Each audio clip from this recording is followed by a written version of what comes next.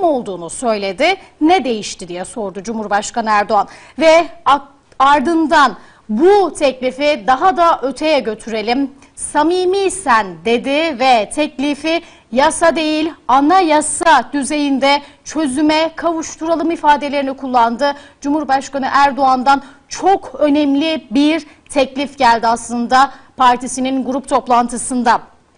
Erdoğan e, bu sorunun aslında başörtü sorununun şu anda Türkiye'de olmadığını söyledi. Çünkü eskiden yaşanan sıkıntıların AK Parti iktidarı ile birlikte çözüme kavuştuğunu belirtti ama madem bir çözüm gerekiyorsa bunu yasa baz, bazlı değil anayasa bazlı çözelim. İleride e, kanun teklifi olarak gelen yasayla verilen hakkın e, başka bir yeniden teklifle, yeniden bir yasayla gidebileceğini söyledi. Yani aslında bugün verilen o kanun teklifinin yarın başka bir mecliste yeniden elin, ellerinden alınabileceğini söyledi. Kökten çözelim bu işi dedi ve anayasa teklifiyle bir kez daha başörtüsü konusu Türkiye'nin gündeminde üst sıralara yerleşti. Cumhurbaşkanı Erdoğan Öte yandan aile kavramına değindi. Aile kanununun, kurumunun güçlendirilmesi için altılı masaya seslendi. Madem samimi bir teklifte gelin hep birlikte aile kurumunun güçlenmesi için de ilave değişiklikler yapalım ifadelerini kullandı Cumhurbaşkanı Recep Tayyip Erdoğan. Şöyle biraz geçmişe gideceğimizde aslında hepimiz hatırlayacağız. Mutlaka o günlere şahit olanlar vardır, yaşayanlar vardır. Her daim diyoruz aslında e, özgür, herkesin düşüncesini, inancını e, kendince yaşayabileceği bir toplum olsun istiyoruz. Herkes kendi idealleri doğrultusunda özgür olsun istiyoruz. Bunu rahatça yapabilsin ülkesinde istiyoruz elbette. Ancak ne yazık ki söz konusu e, farklı kesimler olunca e, insanların düşünceleri de değişebiliyor. Bunların hepsinin yaşandığını Türkiye'de gördük. Asla bir taraf tutmak, asla bir parti düzeyine e, getirmek değil bu işi sözlerim ama baktığımız zaman gerçekten e, geçmişte üniversite kapıların, kapılarında e, başörtülü kızların nasıl o kapılardan geri çevrildiğini, bununla ilgili mücadeleler verildiğini, bununla ilgili gerçekten e, şiddetin uygulandığını gördük, şahit olduk. Bugünlerde böyle bir sorun yok. Artık başörtülü kadınlar polis olabiliyor, kamu kurumlarında çalışabiliyor, üniversite okuyabiliyor. Üniversiteye e, mini etekle gidebilen, e, saçını istediği tıraşı yaptırıp gidebilen insanlar varken, dövme yaptırılabiliyor, piercing takılabiliyorken e, başörtüsünün bu kadar sorun olması da aslında geçmişte yapılan e, bence Türkiye'ye yapılan çok büyük haksızlıklardan bir tanesiydi. E, o sorun evet kalktı. E, önemli olan hangi partinin veya hangi kişinin e, yaptığı değil aslında. Önemli olan bunları artık geride bırakmış olmamız.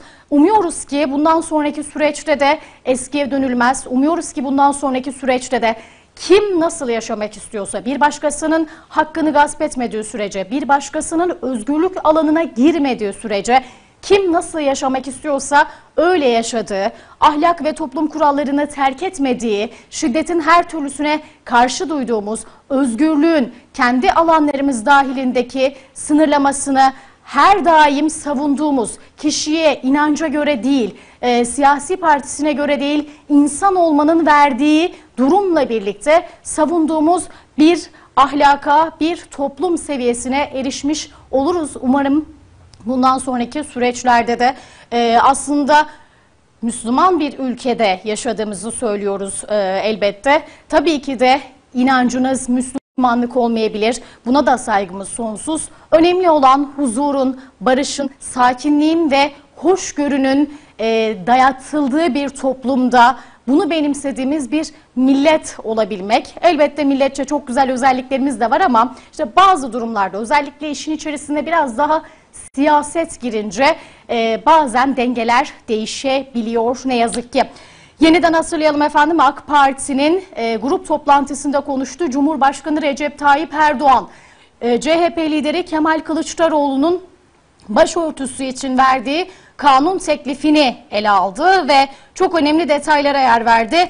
Madem samimi bir teklifti bunu kanun teklifi olarak yasa düzeyinde değil anayasa düzeyinde çözelim dedi ve bu teklifi bir tık daha ileri götürmüş oldu. Bakalım muhalefet tarafından bu hamleye nasıl bir karşılık gelecek? Önemli adımlar atılabilir Cumhurbaşkanı Erdoğan'ın bu sözlerinden sonra. Evet efendim işte meclis bir hayli hareketli başladı. Ee, uzun zamandır bir aranın içerisindeydi. Parti liderleri e, grup toplantılarında konuşmaya başladı. Kanun teklifleri verilmeye başladı ve yasama yılının ilk genel kurulu toplantısı da dün itibariyle gerçekleşti. AK Parti ve MHP'nin meclise sunduğu dezenformasyon yasa teklifi Meclis Genel Kurulu'nda konuşuldu.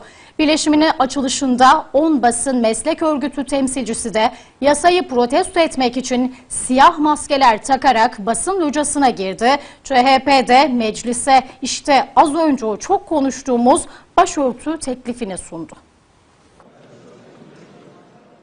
Türkiye Büyük Millet Meclisi'nin yeni yasama yılının ilk genel kurul toplantısı başladı.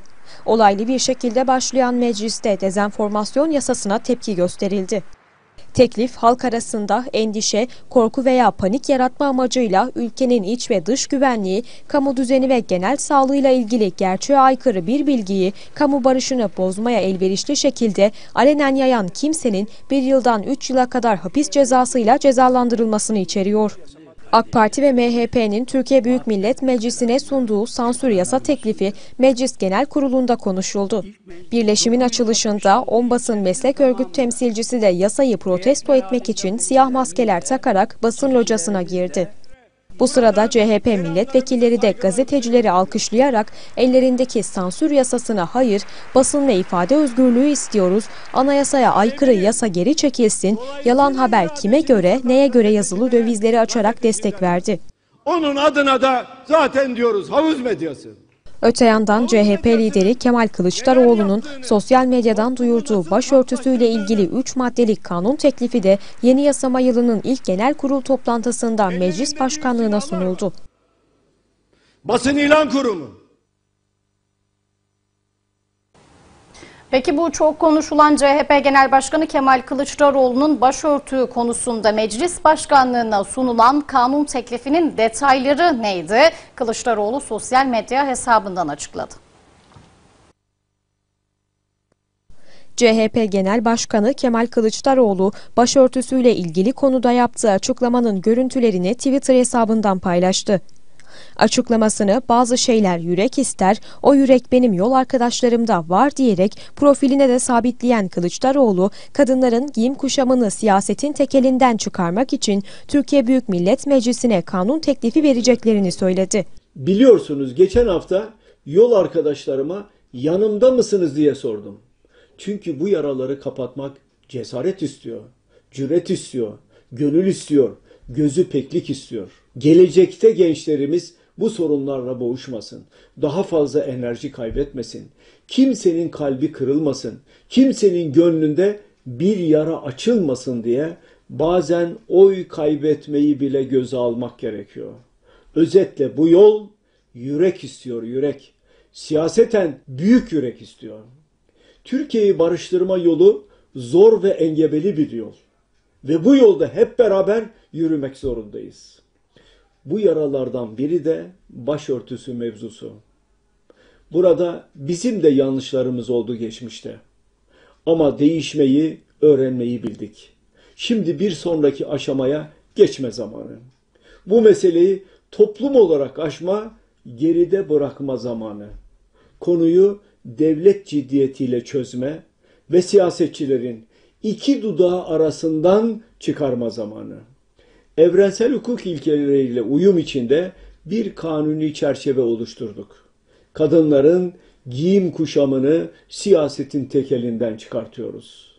Bu hakkı yasal güvenceye alacağız. Bunu bir tartışma konusu olmaktan tümüyle çıkartacağız. Yarın itibariyle bu yarayı sonsuza kadar kapatacak adımı atıyoruz. Kanun teklifimizi grup toplantımızdan hemen sonra Türkiye Büyük Millet Meclisi'ne sunacağız. Kılıçdaroğlu sosyal medya hesabından yaptığı yazılı açıklamadaysa iktidarın gerçekleştiremeyeceği vaatlerde bulunduğunu iddia etti. Onların yarım bıraktığı sosyal projeleri kendileri iktidarı devralınca tamamlayacaklarını söyleyen Kılıçdaroğlu, bu da Bay Kemal sözü olsun, o konutlar bitecek kimse korkmasın dedi. Rusya'dan alınan doğalgazın parasının da ödenemediğini ileri sürdü. Ne kadar çok sorun oluyor kadınların ne giydiği, nereye gittiği, saat kaçta nerede olduğu. Gerçekten artık kadınların kılı kıyafetlerinin siyasetin tek elinden çıkarılması gerekiyor. Birkaç kişinin iki dudağının arasında kadınların hayatının, inançlarının ve nasıl giyineceğinin e, bedeli olmaması gerekiyor. 2022 yılında geldiğimiz bu noktada artık bunları konuşmuyor olmak gerekiyor. Artık çağın çok ilerisine teknoloji, yapılacak hamleleri konuşmak gerekiyor. Halen kadının taktığı başörtüyü, saat kaçta nerede olduğu, tecavüzü hak edip hak etmediği, ölümü kimden geldiği bunların artık konuşulmaması gerekiyor. Konuşulacak bir şeyler varsa gençlerin uyuşturucuyla mücadelesi olmalı. Kadınların her geçen gün birden fazla insan tarafından tacize uğradığı, tecavüze uğradığı, canice katledildiği, kadınlar üzerinden bir şeyler konuşulacaksa, kadınlar üzerinden bir hamle yapılacaksa bunların yapılması gerekiyor. Koca koca insanların oturup bu konularda çözüm bulması gerekiyor. Artık pis ellerin kadınların üzerinden çekilmesi gerekiyor. İnsanlığın içinden temizlenmesi gerekiyor. Gençlerimiz her gün daha da fazla uyuşturucu batağının içerisine sürükleniyor. Artık çok küçük yaşlara kadar düştü. Ne yazık ki uyuşturucuyla mücadele konusu. Evet mücadele ediliyor. Evet güvenlik güçleri konuya ilişkin operasyonlar yapıyor. Ancak kökü bir türlü kurutulmuyor efendim. Çünkü sadece belki de Türkiye'nin mücadele edebileceği, belki de sadece Türkiye'nin konusu olmadığı içindir. Tüm dünyayı ilgilendiren bir konu olduğu içindir ama önce kendi kapımızın önünden başlamalıyız temizlemeye ki daha güzel yarınlar bırakalım çocuklarımıza. İşte bugün kadına yönelik şiddet konuşuluyorsa, bugün işte bu tüm kötülükler konuşuluyorsa hiç şüphesiz ki bunların temelinde yatan bir gerçek var. Eğitim, zihniyet ve hiç şüphesiz ki ne yazık ki uyuşturucu madde.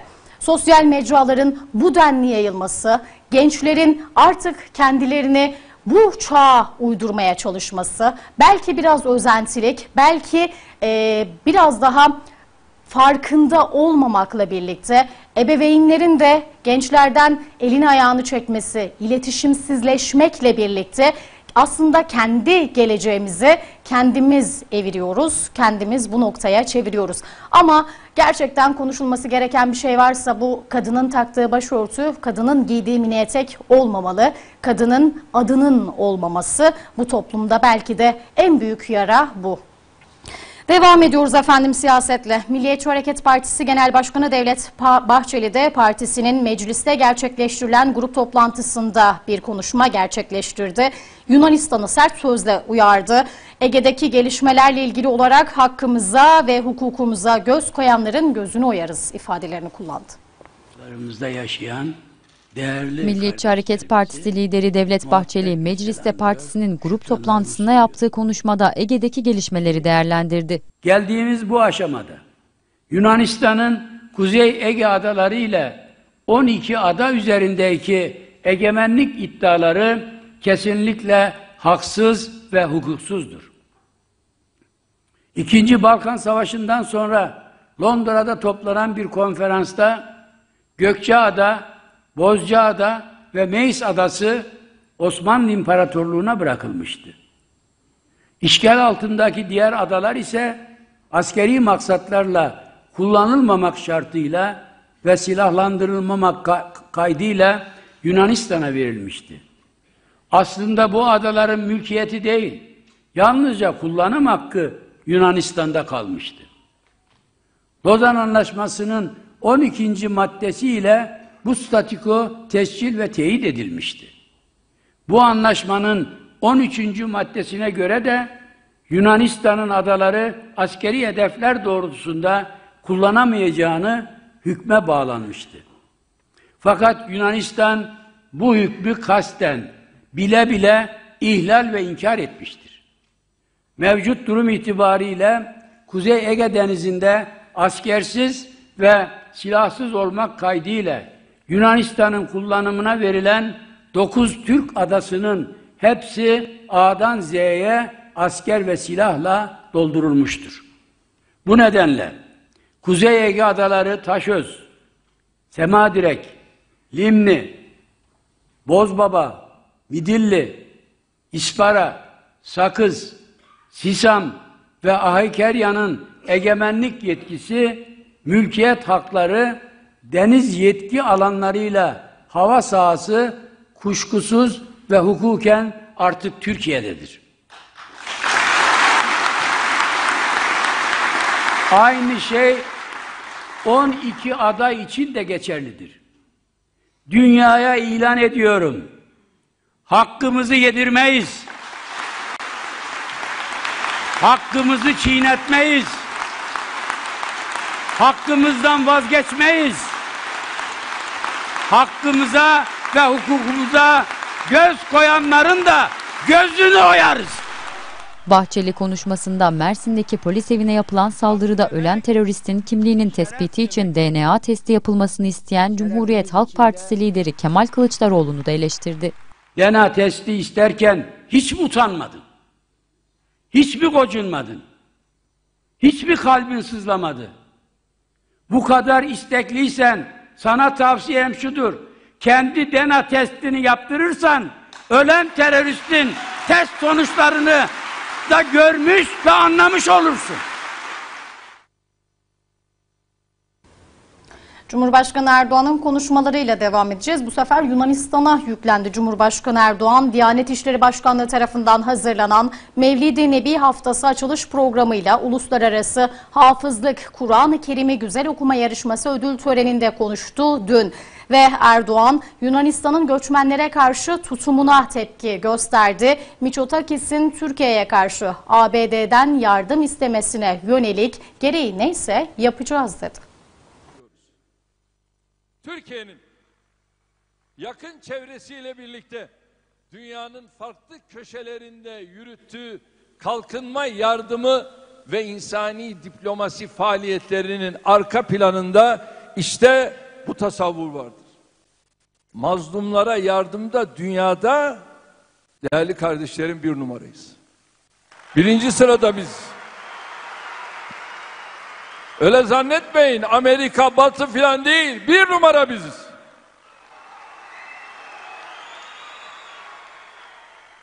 Dünya beşten büyüktür derken de herkes için daha adil bir dünya mümkün derken de inancımızın bize emrettiği bu anlayışımızı ifade ediyoruz. Merhametini yitirmiş bir çağda Diyanetimizle, TİKA'mızla, AFAD'ımızla, sivil toplum kuruluşlarımızla düşkünlerin bir lokma ekmeğe muhtaç fakirlerin yeraltı ve yerüstü zenginlikleri emperyalistler tarafından sömürülen mazlum halkların imdadına biz koşuyoruz.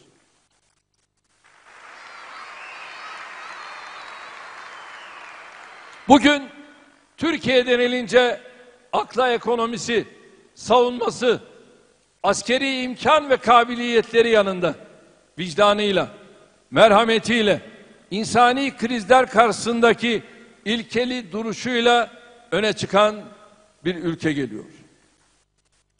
Ay yıldızlı al bayrağımız dalgalandığı her yerde vatandaşlarımızın yanı sıra orada yaşayanlar içinde güveni ve adaleti temsil ediyor. Kardeşlerimiz başta olmak üzere yüz milyonlarca mazlum ve masumun da umudu haline gelmenin ağır sorumluluğunu yüreğimizde hissediyoruz. Rabbime bizleri böyle bir inancın, böyle bir medeniyetin âli cenaplığıyla maruf, böyle asil bir milletin mensupları kıldığı bu ülkeye hizmetkar olma şerefi bahşettiği için sonsuz hamd ediyorum.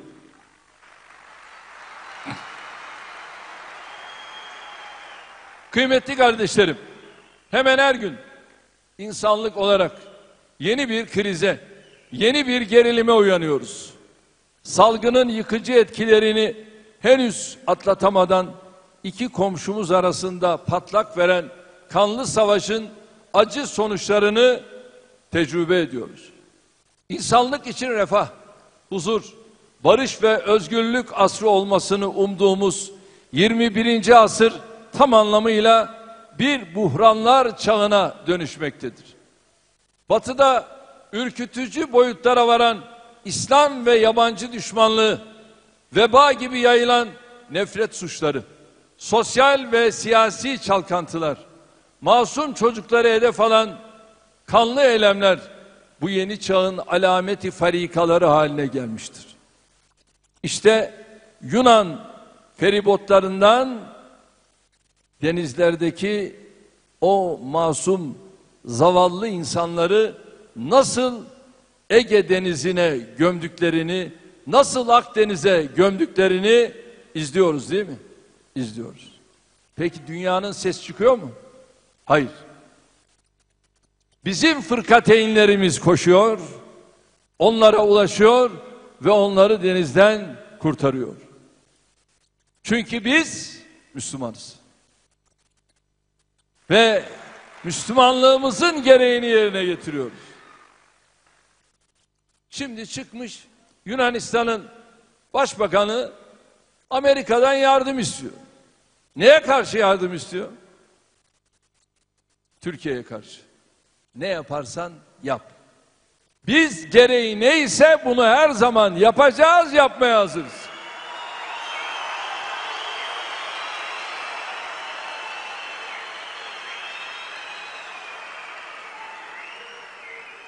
Yıllardır insanlığa kurtuluş reçetesi olarak sunulan materyalist ideolojilerin çare olmadığı, bilakis insanlığı ekonomik, siyasi ve ahlaki olarak felakete sürüklediği gün geçtikçe daha iyi anlaşılıyor.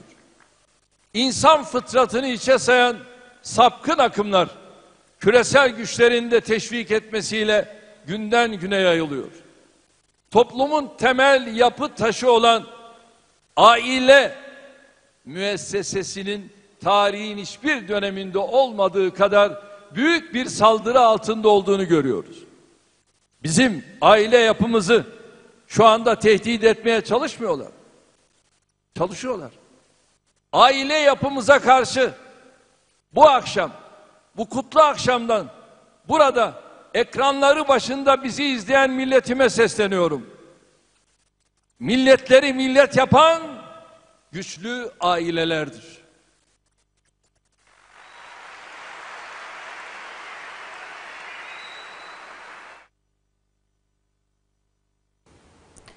Evet sevgili izleyiciler, emek, emeklilikte yaşa takılanlar için yapılan EYT çalışması teknik olarak bitti. Bu konuda çalışmalar son bulurken müzakereler bitirilip yasa aşamasına geçilecek. SSK'lı ve Bağkurlu arasındaki prim farkının giderilmesi için çalışmalar yapılırken staj sigortası düzenlemesi ise merak konusu oldu. Uzun süredir gündemdeki yerini koruyan emeklilikte yaşa takılanlarla ilgili sıcak gelişmeler yaşanmaya devam ediyor. Milyonlarca vatandaş dört gözle emeklilikte yaşa takılanlar yasasını bekliyor. Bu konuda teknik çalışma tamamlanırken müzakerelerin son bulup yasa aşamasına geçilmesi öngörülüyor. 99'da biliyorsunuz 99 öncesi işe başlayanların karşılaştığı bir emeklilikle ilgili bir sorunlu. Onların işte prim gün sayısını doldurmuş olan, yılı tamamlamış olanların karşılaştığı bir sorun. Yaşla ilgili bir e, problemdi.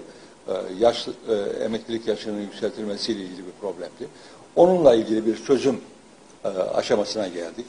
E, o dosyayı tamamladığımız gün bir basın toplantısıyla ya da başka bir şekilde Türk kamuoyuyla paylaşacağız onu. Bakan Bilgin, taşeron işçiler, geçici işçiler, sözleşmeli personel ve EYT çalışmalarının Aralık ayına kadar tamamlanarak kamuoyuna duyurulacağını ve meclis takvimine alınacağını ifade etti. Özellikle EYT probleminde sona gelindiğini duyuran Bakan Bilgin, formülü Cumhurbaşkanı Recep Tayyip Erdoğan'a sunacaklarını söyledi. EYT'lilerin en çok merak ettiği konulardan biri ise staj sigortasının emekliliğe yansıyıp yansımayacağı. Bu konuda teknik olarak kapsam alındı. Staj ve çıraklıkta yapılan sigortalar bilindiği gibi mevcut durumda emeklilik hesaplarında kullanılmıyor. Ancak Çalışma ve Sosyal Güvenlik Bakanı Vedat Bilgin bu konuda bir çalışma yaptıklarını duyurdu. Uzun zamandır milyonlarca kişinin gözü işte emeklilikte yaşa takılanlarda gelinecek son nokta olacak. Yakın bir süreç içerisinde de vatandaşlarla bu konunun güzel bir şekilde güzel haberler niteliğinde paylaşılacağını ümit ediyoruz diyelim. Ve son 24 saatte yurdun dört bir yanında yaşanan gelişmelerle Türkiye turuna çıkıyoruz.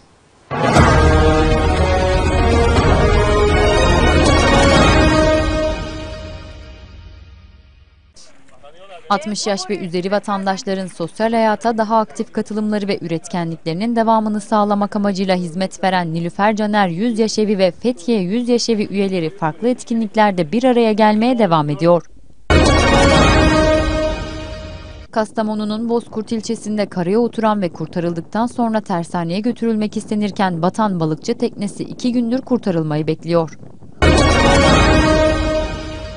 Esenler Belediyesi tarafından 4 Ekim Hayvanları Koruma Günü'nde düzenlenen etkinlikte çocuklar hayvanlar için yaklaşık 1000 adet yuva yaptı. Etkinlikle hayvan hakları konusunda farkındalık sağlandı.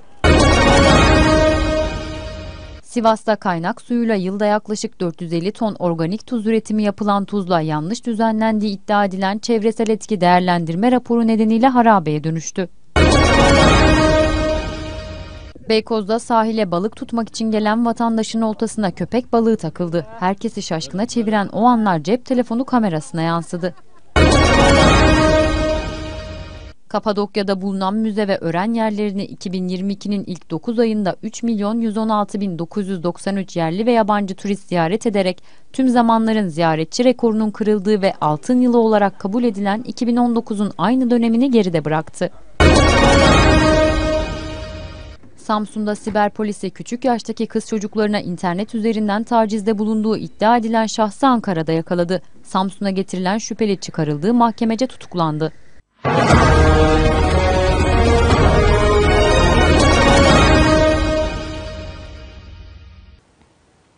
Adana ve Samsun'da uyuşturucu satıcılarına yönelik olarak kökünü kurutma operasyonu gerçekleştirildi. Operasyonu İçişleri Bakanı Süleyman Soylu yönetti. Her iki ildeki operasyonda toplam 303 şüpheli gözaltına alındı. Aziz milletimiz Adana ve Samsun'da torbacı diye tabir edilen uyuşturucu satıcılarına yönelik olarak kökünü kurutma operasyonu gerçekleştirildi. İçişleri Bakanı Süleyman Soylu'nun bizzat yönettiği operasyona 2037 polis, 470 ekip, bir helikopter, 17 hassas burunlu narkotik köpeği katıldı. Bakan Soylu operasyon öncesi Adana Emniyet Müdürlüğü bahçesinde şafak vakti polislerle bir araya geldi. gençlerimizi, insanımızı büyük bir beladan kurtaracağınız bu faaliyet tam 9 aydır narkotik birimlerimizin, istihbarat birimlerimizin ortaya koyduğu titiz çalışma sonucu projelendirilmiştir. Allah yardımcınız olsun. Allah muhafaza etsin, Allah korusun arkadaşlar. Bu konuşmanın ardından özel harekat polislerinin de katılımıyla 229 ayrı adrese baskın yapılıp toplam 303 şüpheli gözaltına alındı. Hassas burunlu narkotik köpekleri de baskın gerçekleştirilen evlerde arama yaptı. Bu anlarsa saniye saniye görüntülendi. Operasyonda ele geçirilen uyuşturucu miktarı hakkında açıklama yapılmadı. İçişleri Bakan Yardımcısı İsmail Çasaklı uyuşturucu ve terörle mücadele konusunda yapılan çalışmalar hakkında bilgi verdi. İşte detaylar. terörle mücadelemizin bir diğer ayağı olan uyuşturucu ile mücadele kapsamında sıklıkla büyük çaplı operasyonlar düzenliyoruz. Dün de yine sabah 5'te 2037 personelin 22 narkotik köpeğinin bir helikopter ve bir İHA'nın katılımıyla gerçekleştirdiğimiz kökünü kurutma operasyonu Adana Samsun kapsamında Adana'da 211, Samsun'da 92 satıcı gözaltına alınmıştır. Eylül ayında PKK terör örgütüne yönelik kırsal alanda 12'si büyük, 30'u orta çaplı olmak üzere toplam 12.817 kırsal operasyon gerçekleştirdik. Ve yine bütün terör örgütlerini kapsayacak şekilde şehirlerdeki faaliyet yürüten hücre yapılanması ve işbirlikçilerine yönelik de 977 operasyon gerçekleştirdik. Şimdi arkadaşlar toplam rakamları vereceğim ama bir şeyin özellikle altını çizmek istiyorum. Daha önce biliyorsunuz yurt içindeki terörist sayıları ile ilgili değerlendirmeleri zaman zaman Sayın Bakanımız da yapıyor. Bu operasyonlarda terör örgütünün kırsalda faaliyet gösteren silahlı elemanlarından 19'u ölü olarak ele geçirilmiştir. 16'sı da sağ olarak yakalanmıştır. Yani oransal olarak oldukça büyük bir orandır bu. 19 terörist ölü, PKK'lı dağ kadrosundan silahlı, 6'sı da sağ olarak ele geçirilmiştir. Tüm operasyonlarda aralarında biri liste dışı, dördü gri ve dördü turuncu kategoride aranan teröristlerin de bulunduğu 19 ölü, 109 sağ, 17 teslim olmak üzere toplam 145 terörist etkisiz hale getirilmiştir. Bunların da 113'ü PKK, KCK, 23'ü DAEŞ ve 9'u da sol terör örgütü mensubudur. Ayrıca Eylül ayı içerisinde terör örgütlerine yardım yataklık yaptığı ve örgütlerle irtibatlı olduğu değerlendirilen 1477 şüpheli gözaltına alınmış. Bunlardan 376'sı tutuklanmıştır. Bu operasyonlarda 80 sığınak, barınak, mağara kullanılamaz hale getirilmiştir. 186 silah, bunların 156'sı ağır ve uzun namluludur. 18 adet mayın EYP, 204 adet el bombası, 364 kilogram patlayıcı madde, 285.686 adet muhtelif mühimmat ele geçirilmiştir.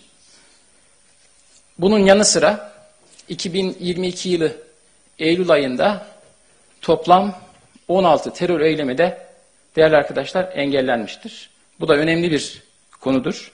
Eylül ayı içerisinde 16 terör eylemi engellenmiştir. Eren Abluka ilkbahar yaz operasyonlarımızda biliyorsunuz tamamlandı. Başarılı bir şekilde tamamlandı. 15 Nisan 30 Eylül 2022 tarihler arasında kapsayan bir dönemde yaptık bunları ve 273 barınma alanına yönelik 9159 operasyon planlamıştık ve 9768 operasyon ki hedeflenenin de üzerinde sayıda operasyon yaparak bu faaliyetlerimizi sona erdirdik. Bu, kaps bu operasyonlarda 98 terörist etkisi hale getirildi. 490 sığınak, barınak kullanılamaz hale getirildi, imha edildi. 368 silah ki bunlardan 7'si füze, 2'si uçak savar, biri havan, 11'i roket atar. Yine 710 el bombası, 110 adet mayın EYP, 1050 tüp, 4 ton 100 kilogram patlayıcı madde, 330 bin mühimmat, 75 dürbün, 25 jeneratör, 78 milyon kök kenevir, 5 milyon kök skank, 12 ton esrar da bu operasyonlarda değerli arkadaşlarım ele geçirildi. Bu gayretleri, başarılı çalışmaları için, fedakarlıkları için bütün güvenlik personelimize şükranlarımızı aziz milletimiz adına özellikle ifade etmek istiyorum. Değerli arkadaşlar, uyuşturucu ile, uyuşturucu ile mücadelemiz bir gün değil biliyorsunuz.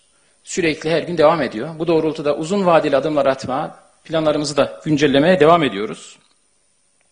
Teknik ve beşeri kapasitemizi geliştiriyoruz. Aldığımız tedbirlerin yoğunluğunu da her geçen gün an be an artırıyoruz. Çünkü uyuşturucu ile mücadele bildiğiniz gibi birçok alanı kapsıyor. Terör örgütlerinin finansmanından gençlerimizin hayatına kadar pek çok alanda çalışma yapılmasını gerektiriyor. Karmaşık ve zor bir küresel sorundan bahsediyoruz. Dolayısıyla her an tetikteyiz ve teyakkuzdayız. Uyuşturucu ile mücadeleye yönelik de Eylül ayında 23.499 operasyon gerçekleştirdik. 29.325 kişi gözaltına alınmıştır. Arkadaşlar bu rakam oldukça büyük bir rakam. Ve bunlardan 2225 kişi adli merciler tarafından tutuklanmıştır.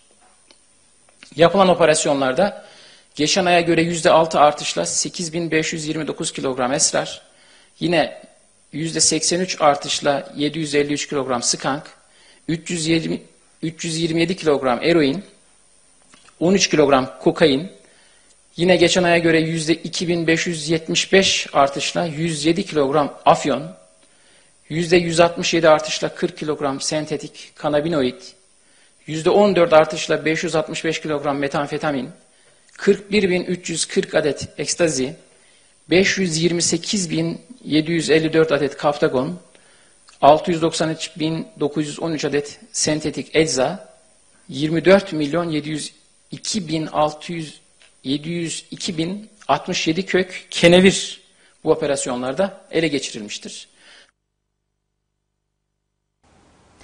Uyuşturucuyla mücadele kökünü kurutana kadar devam edecek gibi gözüküyor. Tabii elbette vatandaşların da toplumun da bu konuda yapacak bir şeyleri olmalı. Bilinçlenmek, iletişim kurmak gibi, gençlere yön ve yol göstermek gibi ve tabii ki de belki de e, hali hazırda bağımlı gençleri topluma kazandırmaya çalışmak gibi. Haber turumuza devam edeceğiz. Kısa bir reklama gidiyoruz.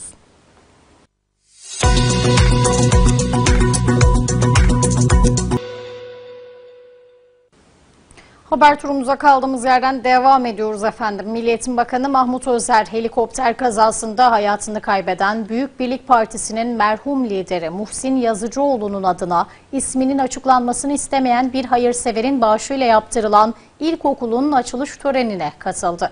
Bakan Özer burada yaptığı konuşmada eğitim yatırımları hakkında da bilgi verdi.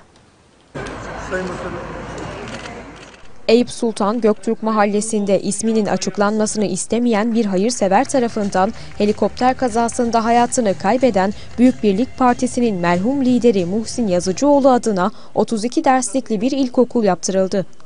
Muhsin Yazıcıoğlu İlkokulu hem öğrencilerin hem de öğretmenlerin ihtiyaç duyduğu eğitim olanaklarını bünyesinde bulunduruyor. Okulun açılışı Milli Eğitim Bakanı Mahmut Özer'in katıldığı törenle yapıldı. Muhsin Yazıcıoğlu İlkokulu'nun yapılmasını emeğe geçen, isminin açıklanmasını istemeyen hayırseverimize çok teşekkür ediyorum. Bakan Özer açılışta yaptığı konuşmada eğitim yatırımları hakkında bilgi verdi. 19 milyonun üzerinde öğrenci var, 1.2 milyon öğretmen var, 57.108 tane okul var, 146 bin bina var. Eğitim öğretime hazırlık için Türkiye'nin dört bir köşesinde 4506 tane okulumuzun büyük onarımını tamamladık. 109 98 tane yeni okul binasını eğitim öğretimine hazırladık. Köylerdeki atıl duran köy okullarını aktif hale getirmek için 2-3 ay gibi kısa sürede 1700'e yakın köy okulunu köy yaşam merkezlerine dönüştürerek vatandaşlarımızın çocukları ve kendileri için aynı zamanda bir eğitim kurumu olarak hizmete geçirdik. Bakan Özer velilerle okullar arasındaki maddi ilişkiyi tamamen ortadan kaldırdıklarını söyledi. Milletin gündeminden ya okula kayıt yaptırmak istiyorsan bağış yapman gerekir. Okulun Milli Eğitim Bakanlığı ihtiyacını karşılayamıyor algısını yerle bir edelim. İşte onun için ilk kez tüm okullarımıza temizlik, kırtasiye, küçük onarım, donatım, laboratuvar ihtiyaçlarını kendileri giderebilecek şekilde yaklaşık 4 milyar TL'lik bütçe gönderdik. Yani siz değerli velilerinizle okullar arasındaki parasal ilişkiyi de ilk kez ortadan kaldırmış olduk. Bakan Özer İstanbul'la ilgili verileri de paylaştı. İstanbul'un artık Eyüp ilçesinden diğer ilçelerine kadar 39 tane ilçesinde eğitimle ilgili o kronik olan problemlerin hepsini inşallah çözeceğiz. Öğretmen ihtiyaçları ile ilgili de gerçekten çok ciddi adım attık. 20 bin öğretmeni son atama yaptığımız her atamada 15 bin öğretmenin %50'si 7500'ünü, 20 bin öğretmen atamasının %50'sini 10 bin öğretmen hep İstanbul'a verdik. Bir de en son atamada 2500'ü verdik. Dolayısıyla 20 bin öğretmen ilk defa İstanbul'da buluşturmuş olduk. İslamofobi, dini değerlere saldırı, kin ve nefret. 26 Eylül günü de iki kişinin içki sofrasında Kur'an-ı Kerim'i yırtıp ateşe verdiği o görüntüler. Müslüman aleminde hem üzüntü hem de öfkeye yol açmıştı. Olaydan sonra gözaltına alınan iki şüpheli sevk edildikleri adliyede tutuklandı. Müslüman aleminin kutsal kitabına saldırdılar. Dini inançlara alay edip üstüne küfür ve hakaret ettiler. Kur'an-ı Kerim Allah-u Teala Allah'ın gönderdiği. 26 Eylül günü sosyal paylaşım sitesine düşen görüntüler izleyenleri şoke etti. Çiğli ilçesinde bir evde çekildiği anlaşılan görüntülerde içki sofrasındaki şahısların dini değerlerle alay ettiği, içlerinden birinin Kur'an-ı Kerim'i yırtıp ateşe verdiği görüldü. Kur'an-ı Kerim'i yırtıp yakan kişiyi videoya alan kişinin de İslam'a ve Müslümanlara yönelik hakaret ettiği anlar görüntülere yansıdı.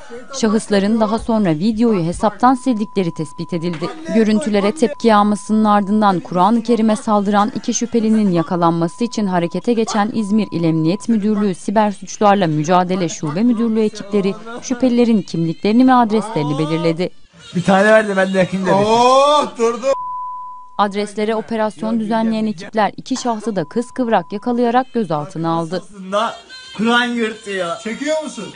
Çekiyorum. Kur'an'ı göster önce. Önce İçişleri Bakanı Süleyman Soylu da sosyal medyasından haberi İzmir'de Kur'an-ı Kerim'e saygısızlık yapan iki edepsizin kimlikleri emniyet teşkilatımızca tespit edildi ve savcılık talimatıyla gözaltına alındılar notuyla paylaştı.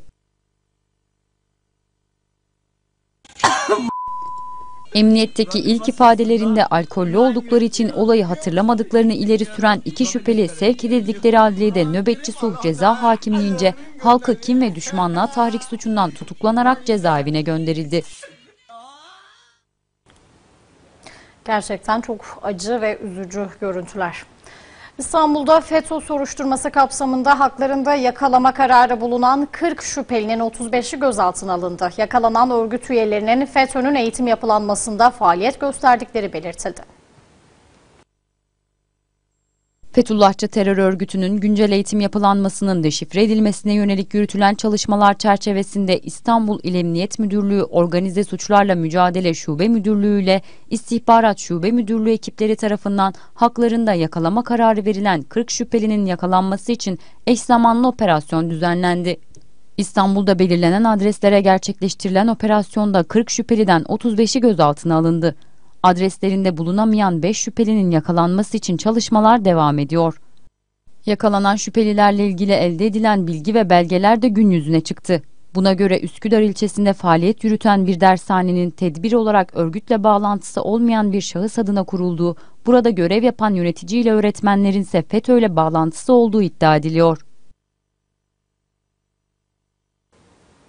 Mersin merkezli 5 ilde yasa dışı bahisten elde edilen paraları kripto para cüzdanlarıyla başka ülkeye transfer ettiği iddia edilen 18 şahıs gözaltına alındı. 54 milyon 654 bin 443 dolar değerinde bitcoin kripto paranın Kuzey Kıbrıs Türk Cumhuriyeti üzerinden İngiltere'ye transfer edildiği tespit edildi. Mersin İl Emniyet Müdürlüğü'ne bağlı Siber Suçlarla Mücadele Şube Müdürlüğü ekipleri yasa dışı bahisle bağlantılı para transferlerine aracılık ettiği tespit edilen kripto para cüzdanlarına yönelik çalışma başlattı. Yapılan çalışmalarda yasa dışı bahisten elde edilen 54 milyon 654 bin 443 dolar değerinde bitcoin kripto paranın Kuzey Kıbrıs Türk Cumhuriyeti üzerinden İngiltere'ye transfer edildiği tespit edildi. Bu cüzdanları kullanan 23 şahsı tespit eden ekipler operasyon için düğmeye bastı.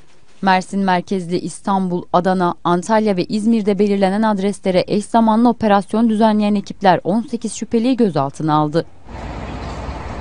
Gözaltına alınan şahıslar işlemleri yapılmak üzere emniyete götürülürken adreslerinde bulunamayan şüphelileri yakalama çalışmaları sürüyor. Antalya'da geçtiğimiz günlerde gündeme gelen Muratpaşa ilçesindeki falezlerde inşa edilen kaçak iskele ile ilgili yeni bir adım atıldı. Birinci derece doğal sit alanı statüsündeki kayalıklarda yapılan iskelenin tamamen sökülmesine karar verildi. Antalya'nın falezlerindeki yapılar dikkat çekiyordu ki Muratpaşa ilçesindeki iskele için karar verildi. Geçtiğimiz dönemlerde sık sık gündeme gelen kaçak iskele inşaatı ile ilgili gelişmeler yaşanmaya devam ediyor. İddiaya göre Muratpaşa Belediyesi'nin 300 bin liranın üzerinde cezai işlem uygulamasıyla alanın eski haline döndürülmesine karar verildi. Lara Caddesi Erenkuş mevkiindeki falezlerde inşa edilen yapı bölge halkı tarafından da oldukça tepki çekiyordu. Fakat çalışmalar kaldığı yerden devam etti. Bölgenin dik kayalıkları ise ileride yaşanabilecek tehlikelerin göstergesi haline gelmişti. Muratpaşa Belediyesi tepki çeken iskelenin tamamen sökülüp falezlerin eski haline getirilmesine karar verdi. Söküm çalışmaları böylece başladı. Vatandaşların iskeleye karşı tepkisi ise değişmedi. Bizimle övünce gurur duyacağı bir vatan böyle bırakılmaz herhalde. Ne diyeceğim? Bunlar bu arkadaşlar kendilerine yakıştırıyorsa benim diyeceğim şey yok yani. Antalya gibi dünyanın dünyanın penceresi olan bir şehirde. Yani Atatürk boşa dememiş şüphesiz Antalya dünyanın en güzel yeridir ama böyle güzellikler talan edilmemeli diye düşünüyorum. Çevre Şehircilik ve İklim Değişikliği Bakanı Murat Kurum, Yükseköğretim Kurulu, Enerji ve Tabii Kaynaklar Bakanlığı, Çevre Şehircilik ve İklim Değişikliği Bakanlığı arasında imzalanan sürdürülebilir ve iklim dostu kampüs oluşturulması alanında işbirliği protokolü imza törenine katıldı. Burada bir konuşma yapan Bakan Murat Kurum, sıfır atık hareketinin Türkiye'nin dört bir yanında çevre duyarlılığının yaygınlaşmasında büyük bir başarı sağladığını kaydetti hareket etmek durumundayız. Biz istiyoruz ki evlatlarımız sahip olduğumuz bu doğal zenginliklere, kültürel zenginliklere kitaplardan, ekranlardan değil, doğayla iç içe, o kültürel değerlerle iç içe yaşayarak yaşayarak öğrensinler ve bu kapsamda da 5 yıl önce saygıdeğer Emine Erdoğan hanımefendinin himayelerinde başlattığımız sıfır atık hareketi var. Tabi sıfır atık sadece döngüsel ekonomi anlayışıyla atıkların dönüşmesi değil, bu manada iklim değişikliğiyle mücadele ve tüm sektörleri, tüm meslek dallarını ilgilendiren, yeşil kalkınmayı önceliklendiren anlayışla ülkemizin dört bir yanında çevre duyarlılığının arttırılması ve yaygınlaştırılması anlamında büyük bir başarı sağladı gerçekleştirdiğimiz çalışmalarla, millet bahçeleriyle, ormanlaştırma, ekolojik koridor çalışmaları, enerji verimli binalar ki Sayın Bakanımız az önce ifade ettiler, te temiz enerji yatırımları, çevreci sanayi projeleri ve farkındalık çalışmalarımızla dünyada da önemli bir etki, etki oluşturdu ve bu anlamda da geçtiğimiz günlerde Birleşmiş Milletler ile imzalanan küresel sıfır atık iyi niyet beyanı ile sıfır atık artık dünyanın geleceğini tehdit eden israfa dur demek için küresel bir çevre seferberliğine dönüşmüş durumdadır. Ve biz de Cumhuriyetimizin 100. yılına yakışır şekilde tüm üniversitelerimizde, belediyelerimizde, kamu kurum ve kuruluşlarımızda, okullarımızda kısacası şehirlerimizin tamamında sıfır atık uygulamasını yaygınlaştırıyoruz. Ve şu an hali hazırda da 101 üniversitemiz sıfır atık temel seviyesi belgesi almış durumdalar. Bu kapsamda diğer üniversitelerimizden de beklentilerimiz sıfır atık yönetmeliğinde belirtildiği gibi sonuna kadar tüm hazırlıklarını, tüm uygulamalarını yapmalarıdır. Biliyorsunuz geçtiğimiz yıl 9 Eylül Üniversitemizin akademik yılı açılış töreninde iklim dostu kampüs sıfır atık üniversite hedefimizi kamuoyuyla paylaşmıştık. İklim elçileriyle gençlerimiz arasında bir çevre gönüllü hareketi başlattık ki bugün geldiğimiz noktada iklim elçileri dünyada yaşanan bu küresel krize karşı bir farkındalık oluşturduğunu, iklim elçilerimizin sesiyle bu konuda çok daha etkin bir çalışma, mücadele verdiğimizi de net bir şekilde görüyoruz. Ben bu vesileyle de her bir üniversite öğrencimize, iklim elçisi gençlerimize sağladıkları katkılardan dolayı da teşekkürlerimi sunuyorum. Tabii şunu da ifade etmek gerekirse bu yıl inşallah tüm üniversitelerimizin akademik yılı hocamızla da yapmış olduğumuz istişareler çerçevesinde akademik yılı açılış törenlerinde iklim elçilerimiz birer konuşma yapacaklar ve iklim konusunda 209 üniversitemizden gençlerimizin sesiyle ve çağrısıyla bu yılki eğitim ve öğretim inşallah başlamış olacak.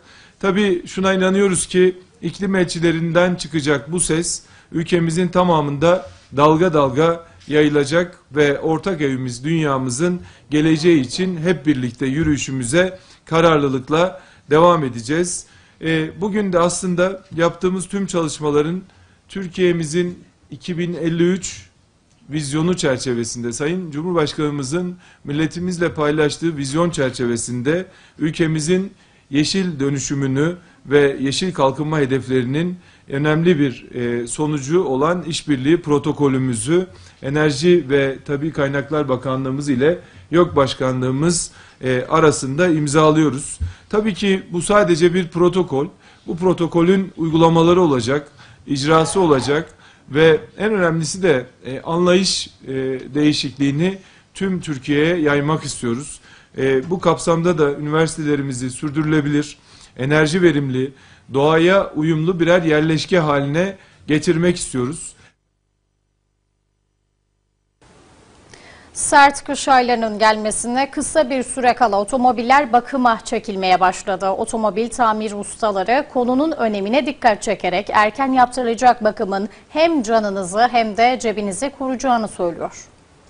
Otomobil sahiplerinin dikkatine kış girmeden yaptırılan bakım hem canınızı hem cebinizi koruyor. Ustalar arabanızın kış bakımını geç kalmadan yaptırmanızı öneriyor. Şimdi kışlık bakımlarda yapmamız gereken ilk şey araçların antifrizlerin kontrol edilmesi, buzlanma riskinin önlenmesi, aynı zamanda motor yağların, yağ filtrelerin vesairelerin bunların bakımların yapılması, lastik ölçülerin, bu çok önemli, lastiklerin bakılması gerekiyor. Ön düzenlerin kontrol edilmesi, fren balatların gözden geçirilmesi, bu takım şeyler yani sileceklerin özellikle sileceklerin gözden geçirilmesi gibi servislerde genel rutin bakımları tam anlamıyla yapılması lazım. Araçların hem maliyet açısından hem ekonomik açıdan yani güvenli ve iyi bir iş olacağını şey yapıyorum ben size anlatmak istiyorum. Araçlar için en önemli konuların başındaysa antifriz geliyor. Önemsenmiyor ama araçlarda yaz kış antifriz olması lazım. Soğuk bir yere gittiğiniz zaman araç motor buzlama yapıyor. Buzlama yaptığı zaman motor patlıyor. Motor yani çok büyük masraflar çıkıyor. Yani motorun buzlandığı zaman buzlanma yaptığı zaman su genleşiyor. Genleşti mi en ufak bir hatalı olan yerleri patlatıyor yani. Conta yakma durum, motor yeme dediğimiz o yani. Motor eklefe isteme durumuna kadar gidebiliyor. Kış bakımının maliyeti ise şu şekilde. Aşağı yukarı 1500 lira civarı. Yani bu yağ bakımları, fren balatları kontrolü. İşte bir de arabanın durumuna bağlı yani değişmesi gereken parçalar neyse bunlar hep ekstra artı olarak şu olur. Bakım olarak aşağı yukarı 1500 lira civarına falan mal olur.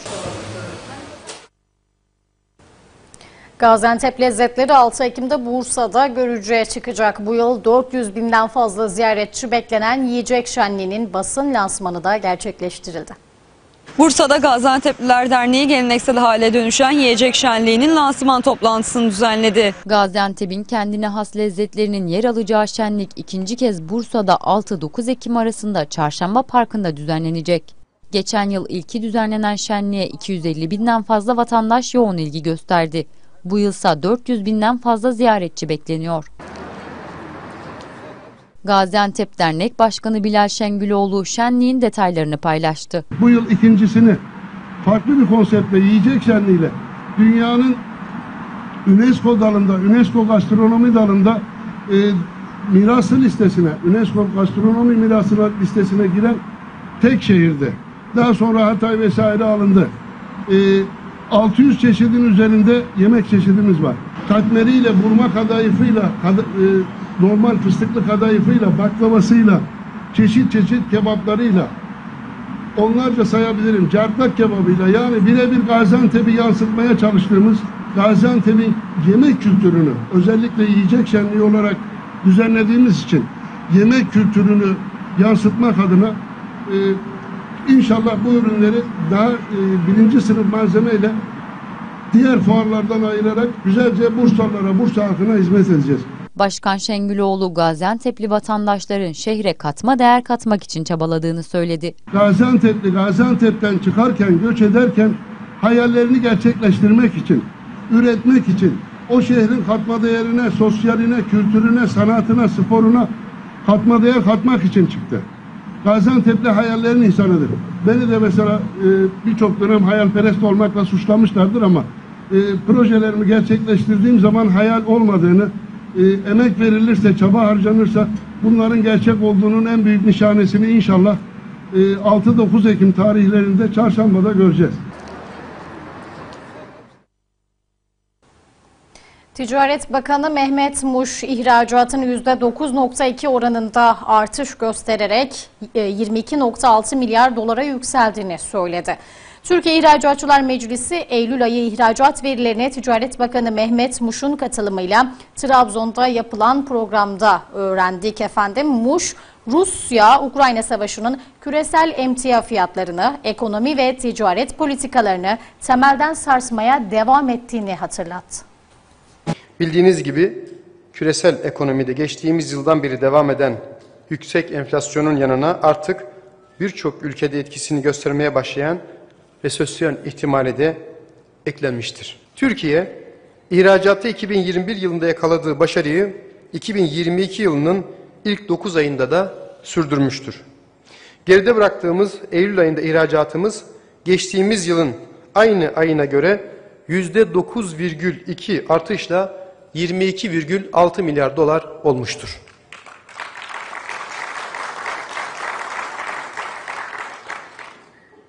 Şunu memnuniyetle ifade etmek isterim ki bu rakam ulaştığımız en yüksek Eylül ayı ihracat rakamıdır. Böylelikle 2022 yılının ilk 9 ayının tamamında aylık olarak en yüksek ihracat rakamlarına ulaşmış bulunuyoruz. 2022 yılı Ocak-Eylül dönemi ihracatımız ise geçtiğimiz yılın aynı dönemine göre %17 artış ile 188,2 milyar dolar seviyesine çıkarak oldukça güçlü bir performans göstermiştir. Eylül ayında dış ticaret hacmimiz geçtiğimiz yıla göre %26 oranında artışla 55,6 milyar dolara ulaşmıştır. Enerji ve emtia fiyatlarında yaşanan sert artışın etkisiyle ithalatımız 33 milyar dolar olmuştur. Ocak-Eylül dönemi ithalatımızın yaklaşık üçte biri enerji ithalatından kaynaklanmaktadır. Öte yandan son dönemde altın ithalatında yaşanan yükselişte ithalatımızda yaşanan artışta etkili olmaya başlamıştır. Söz konusu artış Ocak-Eylül döneminde de devam etmiş olup toplam altın ithalatı bir önceki yılın aynı dönemine göre yüzde 150 artarak 12,1 milyar dolara ulaşmış durumdadır. Nitekim Eylül ayında altın ve enerji hariç tutulduğunda ihracatın ithalatı karşılama oranı %100'ün üzerine çıkmaktadır. Değerli hazırın, hükümet olarak temelden başlayarak bir dünya markası haline gelmelerine kadar pek çok aşamada tüm firmalarımızın yanında bulunuyor, onlara destek veriyoruz. Tim Başkanımız Sayın Mustafa Gültepe'yi kürsüye arz ediyorum. Buyurunuz efendim. %9.2 ile 22.6 milyar dolar ihracat yapan ve 1 Eylül ayı ve Eylül ayı şimdiye kadar en fazla ihracat yapılan bir Eylül ayı. 9 ayda 188 milyar dolar, 12 ayda ise 252 milyar doları aşan bir ihracat. Son 12 ayda hep ihracat rekorları kıran bir ihracat ailesi. Küresel ekonomide sıkıntılar var. Ekonomilerdeki olumsuz iklime rağmen elde edilen bu başarı çok daha anlam kazanıyor. Hazine ve Maliye Bakanı Nurettin Nebati Yalova'da katıldığı bir açılışta ekonomiye ilişkin açıklamalar yaptı. Bakan Nebati uygulanan Türkiye ekonomi modelinin dünyaya örnek teşkil edeceğini söyledi.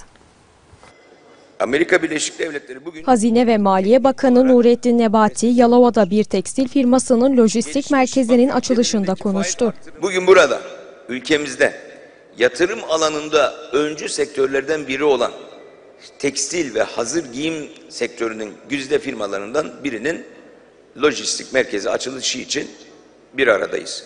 Kurumlar vergisinde güzel ödemeler yapıyorsunuz. Demek ki kazanıyorsunuz. Bakan Nebati elde edilen başarıdan rahatsız olanların olduğunu ileri sürdü. Son yıllarda istihdamda ihracat ve büyümede elde ettiğimiz başarı ve kazanımlar diğer ülkelerle kıyaslandığında parmakla gösterilecek niteliktedir. Kendinize güvenin. İyi yoldayız. Doğru yoldayız ve güçlü bir şekilde gidiyoruz. Söylediklerimiz birileri tarafından manipüle edilebilir. Ama siz bizi anlıyorsunuz, biz sizi anlıyoruz. Dünya da anlayacak. Ve çağrılar bu ülkeden çıkan çağrılarla mutlaka aynı frekansta buluşacak. Buna inancımız tamdır. Tüm üres, olumsuz küresel koşullara rağmen inançta ve ter dökerek kaydettiğimiz başarıları sindiremeyen bazı çıkar odakları ve onların gürültücü elemanları bugün hop, hop oturup hop kalkmaya devam ediyorlar. Nebati yeni ekonomi modeline de değindi. Türkiye ekonomi modelinin sadece Türkiye'ye değil, dünyaya büyük bir örneklik teşkil edeceğini ve bu sancılı dönemin tüm dünyanın sancılı bir şekilde geçtiği bu dönemi en iyi şekilde geçeceğimizi biliyoruz, inanıyoruz, ifade ediyoruz. Onun için buradayız. Büyüyeceğiz, çalışacağız, üreteceğiz, istihdam yaratacağız, Efendim haber turumuza devam edeceğiz. Şimdi kısa bir araya gidiyoruz. Gün ortasında haber turumuza kaldığımız yerden devam ediyoruz sevgili izleyiciler. Milli Savunma Bakanı Hulusi Akar'a Azerbaycan ordusuna desteğinden dolayı ülkenin önemli madalyalarından biri olan Azerbaycan Cumhuriyeti Savunma Sanayi alanında işbirliği madalyası verildi. Teşekkür eden Bakan Akar, Türkiye ve Azerbaycan'ın asil Türk milletinin geleceği, güvenliği, refahı için gece gündüz demeden el birliğiyle çalıştığını söyledi. Gece gündüz demeden hep birlikte çalışıyoruz ve inşallah e, hedeflerine ulaşacağız. Burada e, yaptığımız birlikte beraberlik sadece bir başlangıç. Bundan sonra bunun bütün Türk dünyasına da örnek olacağından, ona da bu konuda teşvik edeceğinden, dolayısıyla birliği ve beraberliğe büyük katkı sağlayacağından eminim ben. Bir tarafta askeri eğitim işbirliği, askerlerimizin eğitimi, tatbikatı, efendim, formlarının, formasyonlarının gelişmesi için çalışırken, diğer taraftan da onların lojistik bakımından desteklenmesi, silah, araç, gereç, mühimmat desteklenmesi bakımından çok önemli biliyoruz işbirliğimize. Bu birlikteliğimizin çok önemli e, gelişmelerle beraber bütün kadın önemli. Bunu bizzat yaşadık. Şu son 4 sene, 4 sene yaşadık. Yaşıyoruz. Burada da çok daha iyi olacağını e, değerlendiriyoruz. Bu konuda Sayın Cumhurbaşkanımızın, e, Cenab-ı Prezident efendim, kararları kesin, onların çizdikleri bir çerçeve var. Bize de o çerçevesinde çalışmak kalıyor. Ve bunları biz açıkla şekli elimizden geldiğince yaptık, yapıyoruz. Buradaki yaptığımız bizim çalışmalar tamamen e, herkesin hakkı hukukunu korumak, kollamak ve bunun yanı sıra da hiçbir şekilde saldırgan değil. Herkesin hakkı hukukuna saygılıyız, hukuklarına saygılıyız. E, bu manada da e, burada bir barış ortamının doğmasını arzu ediyoruz. E, en son yapılan bu operasyonlardan sonra geldiğimiz noktada Türkiye, Azerbaycan efendim, birlikte e, Rusya'nın katılımıyla bir barış havası olması için barış eli uzattık Ermenistan'a. Bu barış eli tutulmasını bekliyoruz. Buna gerekli e, cevabın verilmesini bekliyoruz. Dolayısıyla bu sadece Azerbaycan Ermenistan arasında bir barış değil, tüm Kafkasya'yı kapsayacak şekilde e, bütün bölgeye bir barış havasının gelmesi bütün taraflar için yararlı bir konu. Türkiye'de Ermenistan'la olan görüşmeler de tamamen e, Azerbaycanlı kardeşlerimizin hak ve menfaati esas almak suretiyle yapılmakta. Ona aykırı bir şey yapılmaz asla söz konusu olmaz, olamaz. Bizim maksadımız, niyetimiz bölgeye barışın, huzurun gelmesi ve herkesin güven içinde ve refah içinde yaşaması. Buna gayret gösteriyoruz. Bir için ne varsa bugüne kadar bunları yaptık, yapıyoruz. Bizim bu birlikteliğimiz hiçbir şekilde üçüncü taraflar için bir tehdit değildir. Bu konuda hiç kimseye böyle bir saldırgan bir duygu beslemiyoruz. Bizim isimmez meselemiz efendim, hakkı, hukukun korunması. Bu konuda tabii diğer e, Orta Asya'da coğrafyadaki kardeşlerimiz var. Tabii ki onlarla da konuşuruz, görüşürüz, her türlü işbirliğini yaparız. Bu manada çalışmalarımız e, kapsamlı bir şekilde devam ediyor. Bugüne kadar başarılı bir şekilde geldik. İnşallah bundan sonra da başarılı bir şekilde devam edeceğiz. Bugüne kadar gelmemizde, bu başarılı elde etmemizde en büyük pay hepimizin bildiği gibi şehitlerimize ait. Efendim, dün, evvelki gün daha evvelinde efendim, şehitlerimiz var. Efendim, ta 15 Eylül'den başlarsanız 1918'de bugünlere kadar şehitlerimiz var. Türkiye'de şehitlerimiz var. Bunların tamamı vatanımızla milletimizi korumak için yapılan gayretler sırasında meydana gelen olaylar. Bütün şehitlerimize Allah'tan rahmet diliyorum. Yaralılarımız var, gazilerimiz var. Onlara aile şifalar diliyorum. Şehitlerimizin aileleri, gazilerimizin aileleri var. Onlara son kez saygıdeğer insanlar. Onlar bizim başımızın tacı. Onlara da burada bu vesileyle saygılarımı, şükranlarımı sunuyorum. Sayın e, Cenab Prezident Aliyev, Cumhurbaşkanımız Sayın Erdoğan'ın kararları kesin. Biz efendim kardeşiz, biriz, beraberiz. Sonra böyle devam edecek. Hepinize sevgiyle, saygıyla selam. Sağ olun, var.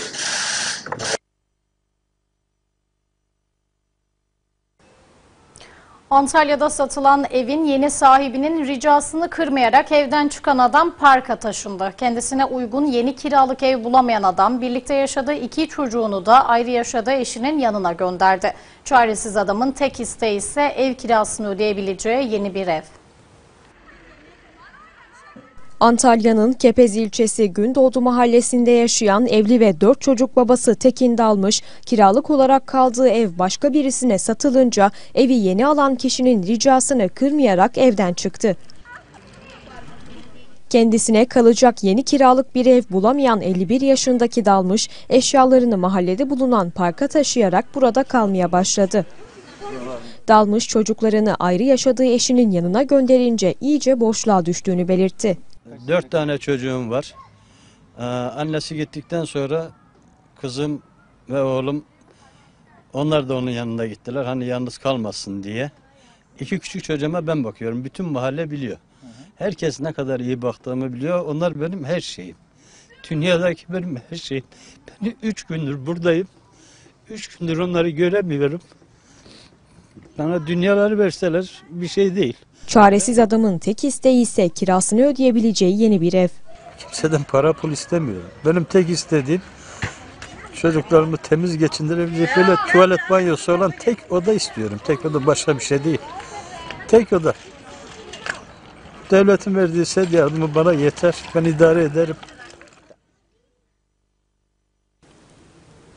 Antalya'nın Kaş ilçesinde minibüsle otomobilin kafa kafaya çarpıştı. Feci kazada 62 yaşındaki dedeyle 2 yaşındaki torunu ne yazık ki hayatını kaybetti. 4 kişi yaralandı. Çarpışma anı ise güvenlik kameralarına böyle yansıdı. Feci kaza geliyorum demedi. Kaş istikametine giden minibüsle karşı yönden gelen otomobil Yeşilköy mahallesinde kafa kafaya çarpıştı. Kaza şiddetiyle otomobil takla atıp şarampole yuvarlandı. Kazada otomobil sürücüsü 62 yaşındaki Durali Erdil olay yerinde, 2 yaşındaki torunu Miray Erdil ise kaldırıldığı hastanede hayatını kaybetti. Kazada minibüs sürücüsüyle diğer araçtaki Erdil'in 8 yaşındaki torunu ve 2 turist yaralandı. 4 yaralı devlet hastanesine tedavi altına alındı. Öte yandan kaza anı güvenlik kamerasına yansıdı. Görüntülerde minibüsle otomobilin kafa kafaya çarpışması yer aldı. Antalya'da yaşayan 12 yaşındaki serebral palsi hastası Mehmet Ercan Sönmez geçirdiği 18 ameliyatın ardından konuşmaya ve tekerlekli sandalyeyle okula gitmeye başladı. Evde yaptığı yaprak sarmaları satarak ilk adımını attıran fedakar anneye valilikten de destek gecikmedi. 12 yaşındaki serebral palsi hastası Mehmet hem konuşmaya hem de okula gitmeye başladı. 13 aylıkken serebral palsi teşhisi konulan minik Mehmet Ercan Sönmez'in zorlu tedavi süreci 11 yıldır devam ediyor. Anne Semra Sönmez ve doktorların çabasıyla Mehmet 4,5 yaşında az da olsa konuşmaya ve yürümeye başladı. Eşinden ayrı olan ve hayatın yükünü tek başına omuzlayan anne Semra Sönmez, çocuğuna en iyi tedavi imkanını sağlayabilmek için gündelik ev temizliklerine gitti, evde yaprak sarması sattı. Minik Mehmet artık okula gidebiliyor. Mehmet daha ağır durumdaydı. Fakat bundan sonraki dönemde gerek benim çalışmalarım gerek de işte e, katkılarla Mehmet e, şu an adımlama dönemine girdi. Çok yoğun bir fizik tedavi, özel eğitim, ergoterapi, yüzme dersleri aldı. Şimdi işte e, artık adımlama aşamasında. Ameliyatlarımızda son aşama bir tane kaldı. Onun dışında hiçbir sorunumuz yok.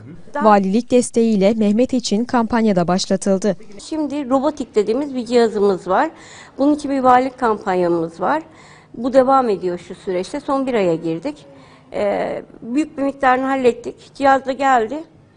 Geri kalan miktarla da Allah izin verirse Mehmet artık yürüyebilecek kapasiteye gelecek o cihazın sayesinde. Minik Mehmet'in en büyük hayali ise meslek sahibi olmak. Be- benim hayalim buydu. Ee, meslek sahibi olmak. ileride annemsiz. Ee, yani ekmek parası kazanmak istiyordum ileride. Ee, Düzce Üniversitesi 2022-2023 akademik yılı açılış törenine AK Parti Genel Başkan Vekili Binali Yıldırım katıldı. E, Düzce Üniversitesi Senatosu tarafından Binali Yıldırım'a mühendislik alanında Fahri Doktora belgesi verildi. Yıldırım, iktidara geldiklerinde üniversiteye erişimin ciddi bir problem olduğuna işaret ederek bugün üniversiteye erişimde ülkemizin dünya birincisi olduğunu vurguladı. son 20 yıldır bizimle, bizim iktidarımızla dünyaya gözünü açan ve 20 yıl bizimle bizi gören gençlerimizin daha öncesine yönelik bir kıyaslama yapma imkanı yok. Bu, bu belki de bizim iktidarımızın en önündeki en büyük zorluğudur. Soğuk Savaş döneminin bize miras bıraktığı İkinci Dünya Savaşı'ndan sonra iki kutuplu bir dünyadır. Doğu bloku, komünist blok, kapitalist blok, batı dünyası. Bu ikisi arasında bir tercihe zorlanmak zorundaydı ülkeler. Doğu blokunda olanların hiç şansı yok. Baştan demir perdeler inmiş içeride. Hepsi mahkum olmuş. Bugün Türk dünyası diye tarif ettiğimiz Kafkaslar'da Orta Asya'daki Türk Cumhuriyetlerinin 75 yılı kayıp yıllardır. Dillerinden, dinlerinden ve ortak tarih şuurlarından ne yazık ki uzak kaldılar. Burada da bütün Türk Devletleri Teşkilatı'nın bütün Türk devletlerinin gözü, kulağı Türkiye. Türkiye hepsi için rol model bir ülke. Güçlü olmak mecburiyetindeyiz. Güçlü olmazsak hiç kimse bizim meselemizi kendi işi gibi görmez. Bırakın silahı, kıyafet, kıyafet, botlar, asker elbiseler, korunaklı elbiseler bunları bile dışarıdan alırken bugün yüzde seksenini kendimiz üretiyoruz. Yerli ve milli üretiyoruz. Dolayısıyla bu noktadaki bağımsızlığımızı kazanmış durumdayız. Bizim amacımız kimseyi korkutmak değil ama hiç kimseden de korkmadığımızı bütün dünyaya göstermek. Çünkü dış politikamızın esası yurtta sulh, cihanda sulh.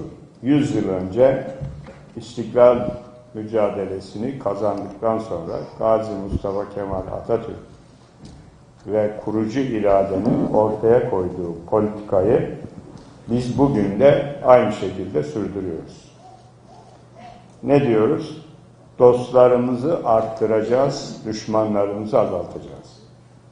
Bölgemizde huzurun, barışın, refahın sağlanması yönünde çok yoğun mesai harcıyoruz. Sayın Cumhurbaşkanımız bizatihi kuzeyimizdeki savaşın bitirilmesi için çok büyük gayret gösteriyor. Esir değişiminden tutun. Orada 26 milyon ton tahılın kıskaç içerisinden alınması, ihtiyaç sahiplerine dağıtılması ve daha birçok hususta kolaylaştırıcı ve ara bulucu rolümüzü hiçbir hesap kitap içinde olmadan yapıyoruz. Ama Batı ülkeleri böyle değil. Batı ülkeleri maalesef iki yüzlü davranıyor. Kendileri savaşa katılmıyor ama savaşın devam etmesi, masum insanların, günahsız çocukların ölmesi için ölmesine seyirci kalıyor. Bu yıllar sevgili gençler sizin altın yıllarınız. Bunlar bu yıllardan daha güzel yıllarınız çok kolay olmayacak. Antalya'da jandarmanın düzenlediği operasyonda piyasa değeri 384 milyon lira olduğu tahmin edilen sentetik uyuşturucu ele geçirildi. Olayla ilgili bir kişi ise gözaltına alındı. Kepez'de bir şahsın bonzai maddesini sıvı hale getirip A4 kağıdına emdirerek sahil bölgesindeki turistik tesislerde piyasaya süreceğini tespit eden jandarma ekipleri şüphelinin kullandığı araç ve ikametinde arama yaptı. Yapılan operasyonda 3 milyon 840 bin kullanımlık uyuşturucu maddeyle çok sayıda malzeme ele geçirildi. Yakalanan uyuşturucu maddelerin piyasa değerinin yaklaşık 384 milyon Türk lirası olduğu açıklandı. Olayla ilgili bir şüpheli gözaltına alındı. İçişleri Bakanı Süleyman Soylu, Jandarma ve Sahil Güvenlik Akademisi 2022-2023 akademik yılı açılış töreninde konuştu. Soylu, Mersin'de yaşanan ve bir polis memurunun şehit olmasıyla sonuçlanan terör saldırısının failleri konusunda ana muhalefetle yaşanan polemiğe değindi. Bir muhalefet partisi ilk kez bir terörist için DNA raporu istedi dedi. Yani terörü savunan, terörle beraber olan, terörü meşrulaştırmaya çalışan, yıllardan beri Türkiye'ye ve dünyaya bunu anlatmaya çalışan siyasal yapılar elbette ki vardır. Ama daha ulusal düzeyde bir takım siyasi yapılanmalar, bazısı bilinçli, bazısı siyaset rüzgarıyla bu küresel stratejilerin ağına düşmüştür. Mersin saldırısı sonrası ortaya koyulan tartışmaları hep beraber izliyoruz. Dün sosyal medyada bir video dolaştı. Belki de ilk kez kamuoyu bir teröristi bu ölçüde yaygın ve net bir şekilde izledi ve gerçek yüzlerini gördü. Bir kadın terörist silah eğitimi almış, bomba eğitimi almış, söz konusu eylemin hazırlığında parmağı olan, mecazi anlamda söylemiyorum, doğrudan parmak izi olan, başka eylemler yapacağını da ifade eden bir kadın terörist gördük. Peki o açıklama sonrasında bize neyi tartıştırmaya çalıştılar? Eylemi yapan o muydu başkası mıydı? Devlet yanıldı mı yanılmadı mı? Bir muhalefet partisi ilk kez bir terörist için DNA raporu istedi. Başka bir şey tartışma, tartıştırmadılar. Kadın terörist olgusunu, terör örgütünün çocukları kaçırmasını tartışmaya gerek görmediler. Evlat nöbetindeki annelerin derdinin ne olduğunu, başlarına ne geldiğini yıllardır oraya baktıkları halde tartışmadılar. Yıllardır PKK'nın eleman yapısının nasıl kurulduğu, nasıl eğitimler alındığı hakkında bir şey tartışılmadı. Bugün Lavrion kampının dünyayı anlatmaya çalışıyoruz. Daha düne kadar Avrupa'nın ortasında modern şehirlerde bildiğim fiili eğitim yapılan PKK kampları vardı. Bunu herkes biliyor. Ne bunları ne bu elemanların nasıl toplandığını hiç tartışmadık. Bölücü örgütün sözde eski Mardin sorumlusunun ifade ettiği gibi örgüt elebaşının zamanında bana 14 yaşında çocuk getirin diyerek örgütü talimatlandırdığını ve yapıyı böyle kurduğu istihbarat raporlarında ve açık kaynak kitaplarında yazmasına rağmen ne bugün ne dün bunlar tartışmadı. Ama paramotor o kadar uçar mı diye uzman kesilmesini bildiler. Uçar, uçurulur ama sen karşındaki yapıyı bilmezsen bu ülkenin terörle mücadelesini bilmezsen, bu örgütün nasıl bir uluslararası lojistik destek aldığını bilmezsen, elbette bunu da bilemezsin. Keza o videodakiyle beraber 92 teröristin isminin nasıl olur da bir ana muhalefet partisinin sitesinde masum gazeteciler olarak yer aldığını da tartışmadık. Bizim bir terörist listemiz var. Biz bir teröristle ilgili yakalamayı yaptığımız zaman veya etkisiz hale getirdiğimiz zaman o terör listesine bakarız. Gri midir, turuncu mudur, yeşil midir, mavi midir bakarız. Şimdi bir şey daha bakmamız aklımıza geldi. Bundan sonra ona da bakacağız. Tutuklu gazeteciler listesinin de bir bölümüne bakmak zorunda kalacağız. Bundan sonra yapacağımız şu. Bir şey daha. Bu kadar yılla terörle mücadele yaptıktan sonra öğrenmiş olduk. Yani bir taraftan terör listesine, bir taraftan da tutuklu gazeteciler listesine hep beraber bakmış olacağız. Buna ait herhangi bir özür beyanı görmedik. Ve bir şey daha ifade edeyim. Bu terör saldırısında bizatihi PKK'nın ve KCK'nın elinden dünyaya ve Amerika'ya yönelik bir belge daha çıkmış oldu. Eh, böylece Antalya ve Türkiye'den aktaracaklarımızın sonuna geldik. Sırada dünya turu var.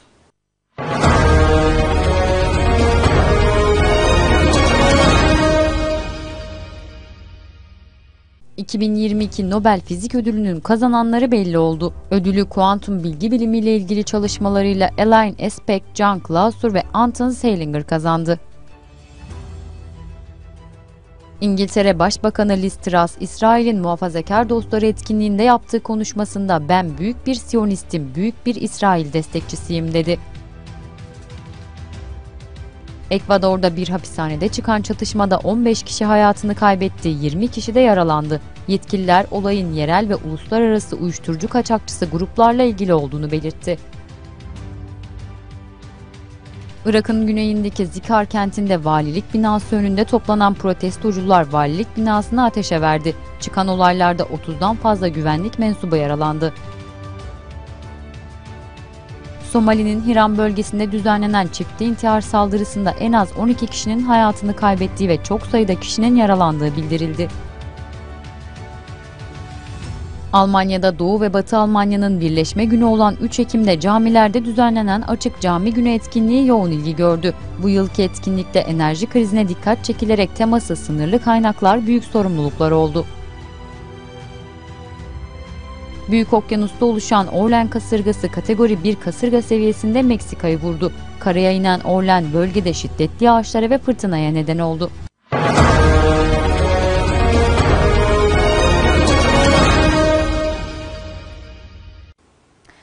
Evet sevgili izleyiciler bizim için veda vakti geldi. Lider haberden ayrılmayın. Cumhurbaşkanı Recep Tayyip Erdoğan birazdan gençlik ve yerel yönetimler temalı tam bana göre festival programında kameralar karşısına geçecek. Program başkent Millet Bahçesi'nde gerçekleştirilecek efendim. İlerleyen dakikalarda kameralarımız Erdoğan'da olacak ve yarın aynı saatte görüşmek dileğiyle. Yarın daha güzel bir gün uyanmak dileğiyle. Şimdilik hoşçakalın.